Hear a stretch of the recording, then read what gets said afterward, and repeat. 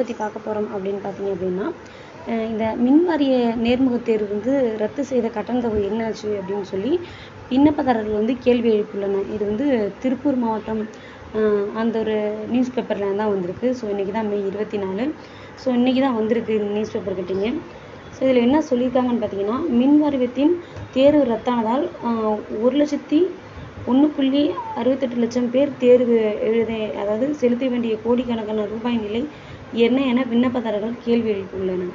தமிழக அரசின் மின் வாரியத்தில் காலி பணியிடங்கள் அதிகமாக இருந்ததால் தேர்வு அல்லது அதற்கு நேர்காணல் மூலமாக நிரப்ப இரண்டாயிரத்தி இருபது மற்றும் இரண்டாயிரத்தி இருபத்தி ஒன்றில் தமிழக அரசு வெளியிப்பு அறிவித்தது.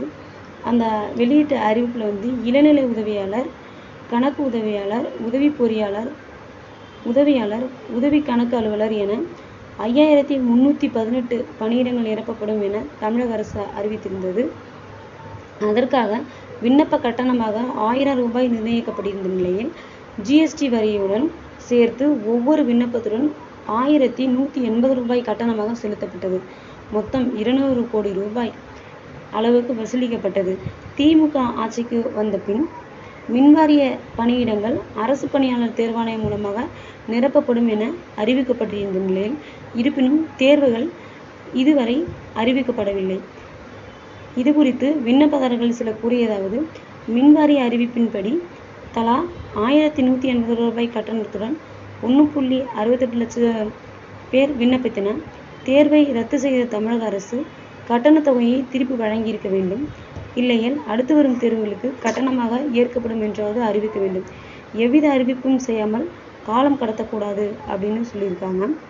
ஸோ விரைவில் பழைய விண்ணப்பதாரர்களுக்கு டிஎன்பிசி மூலமாக தேர்வு நடத்த தமிழக அரசு முன்வர வேண்டும் அப்படின்னு கூறினாங்க அப்படின்னு சொன்னாங்கன்னு சொல்லி இதில் சொல்லியிருக்கிறாங்க. ஸோ இதில் பார்த்தீங்க அப்படின்னா மின் கட்டணத்தை இவங்க கொடுத்த அந்த கட்டணத்தை வந்து அவங்க கொடுக்கல அப்படின்னு சொல்லி சொல்கிறாங்க ஆனால் ஒரு சில பேருக்கு வந்து வந்துடுச்சு. அதாவது அவங்களுக்கு அவங்க ஃபீஸ் கட்டினாங்க இல்லையா? அந்த கட்டணம் வந்து திரும்பி வந்துடுச்சுன்னு ஒரு சில பேர் கூட சொல்லியிருந்தாங்க. ஆனால் ஒரு சில பேருக்கு வரல. எல்லாருக்குமே முழுசாக வரல. ஒரு சில பேருக்கு மட்டும் அவங்க அந்த கட்டின அந்த ஆயிரத்தி நூற்றி எண்பது ரூபாய் அது மட்டும் வந்திருக்கு அப்படின்ற மாதிரி கொஞ்ச நாளுக்கு முன்னாடி சொல்லிட்டு இருந்தாங்க. அதுக்கப்புறம் வந்து அதை குறித்து நிறைய பேர் வந்து எனக்கு வரல எனக்கு வரல அப்படின்னு சொல்லி நிறைய பேரும் கமெண்ட் பாக்ஸில் கூட சொல்லியிருந்தாங்க வீடியோ போட்டிருந்தப்ப. ஸோ இது வந்து முழுசாக யாருக்குமே அந்த கட்டணத்தை ஒன்றும் அவங்க கொடுக்கல. ஒன்றும் கட்டணத்தை கொடுக்கணும் இல்லைன்னா அதுக்கான திரும்பி அடுத்த எக்ஸாம் ஒன்று வருதுன்னா அதுக்காக இந்த அமௌண்ட்டை நாங்கள் எடுத்துக்கிறோம் அப்படின்னு கூட சொல்லணும். எதுவுமே சொல்லாமல் இருக்காங்க அப்படிங்கிறதும் இன்னொன்று எக்ஸாமும் எதுவும் வைக்காமல் இருக்காங்களே அப்படிங்கிறதும் தான் இந்த விண்ணப்பதாரர்களோட கேள்வியாக இருக்குது அப்படின்னு சொல்லி இந்த நியூஸ் பேப்பர் கட்டிங்கில் வந்து வந்திருக்கு. ஸோ வருமா வராதா அப்படிங்கிறத நம்ம பொறுத்திருந்து தான் பார்க்கலாம். இல்லை தேர்வும் அறிவிப்பாங்களா இல்லையான்னு இனிமேல் தான் தெரியும். ஸோ இந்த தகவலை உங்கள்கிட்ட ஷேர் பண்ணுறதுக்காக தான் இந்த வீடியோ மேக் பண்ணேன். வீடியோ பிடிச்சிருந்தா லைக் பண்ணுங்கள் நம்மளோட டிடிஎஸ் ஐஎஸ் அகாடமி சேனலை சப்ஸ்கிரைப் பண்ணீங்கன்னு சொல்லி வீடியோ முடிச்சுக்கிறேன். நன்றி வணக்கம்.